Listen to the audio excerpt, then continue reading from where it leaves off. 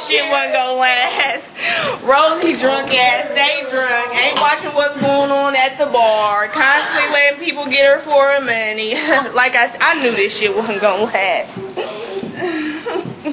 it means big. You are such a nice lady, and I like you. but him. And this bitch, how she gonna check this one about her motherfucking husband? Bitch in the bar every night just trying to find a baller. Need to get a motherfucking job. You know what? You can have mine. I'm done with this shit.